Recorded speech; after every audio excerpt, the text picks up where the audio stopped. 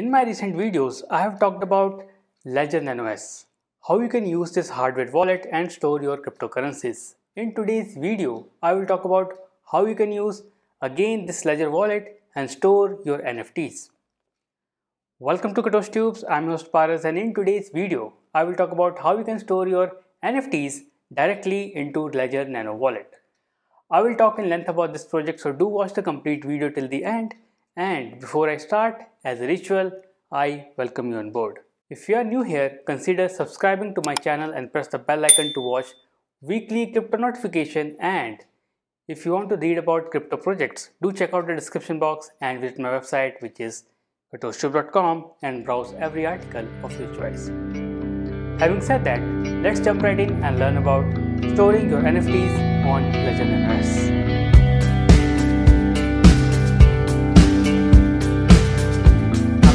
talk about the details, let me tell you that we are active on YouTube, but we are also active on Twitter and Meta. And if you wish to spark a conversation with us and know about cryptocurrencies, do connect with us on our Twitter handle, which is KatochTubes. Now let's start with the video. So in front of me, you can see I'm inside the OpenSea marketplace, which is one of the very famous marketplace when it comes to NFTs and cryptocurrencies. And here I will take you through one of my NFT, which I would like to send it to my Ledger wallet so this is my profile and in this profile I have connected the Polygon network and inside the Polygon network I have this NFT. So this NFT is a car NFT of a REVV Racing which is again a NFT based racing game and what I wish to do, I wish to send this particular NFT to my Ledger wallet. To do this all I need is to click on this options and once I click the address and enter the details I need to click transfer here. Now in order to find the address for the polygon since this particular NFT is polygon based so I have to check the polygon network. So I have to go back to my ledger device and here I have Ethereum and XRP which is Ripple installed. I need to install what we call a polygon app. Now if you want to learn about Ledger Live how to get started with it just click on the link above and Check out the video in which I have shown each and every step how you can get started with a ledger device. So just type polygon here and click on it. So it is installing. So you have to go to this manager section and then only you can install the app. So this is polygon for me. So when I've installed, I need to add the account. So this is a newly installed app. So I need to create an account.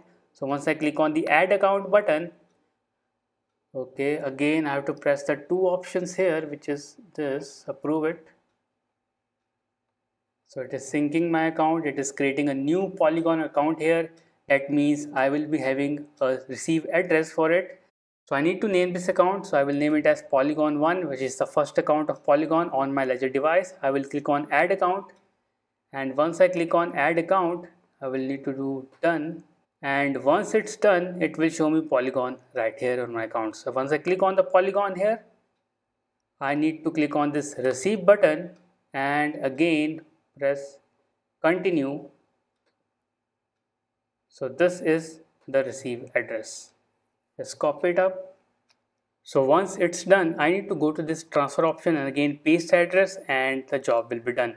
But here is one catch and that is this particular asset is actually if you go into details it is a ERC1155 token which means this token will not be visible on the ledger device. So again you have to take into caution that when you are sending the polygon or nft token or let's say any nft token in any wallet you need to be sure that the particular wallet should support the ERC721 or ERC1155 token. So in the case of ledger which is right now where I'm talking about. If I click on receive this guy right now shows Matic or ERC20 tokens only. It is not showing me ERC1155 of ERC721 which is again an NFT token because the app is not updated yet. So make sure that the app is updated and once it's updated it will reflect that it will show this kind of token and it's a place where you can store these tokens.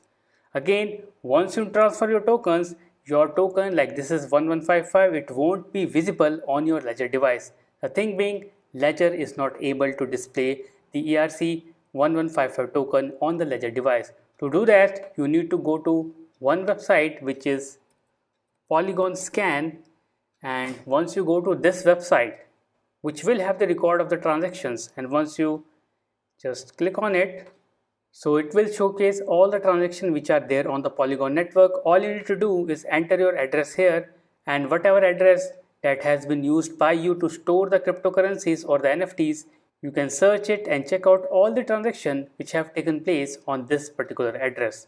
And there you will find whether or not your transaction is successful or not. So that's how you can store NFTs on the Ledger device, storing them safely and keeping them away from the scammers. So that's all about the video. I hope you enjoyed watching it. Do watch the videos shared on the screen. I see you the next week with a new content. Till then, take care and do remember to subscribe.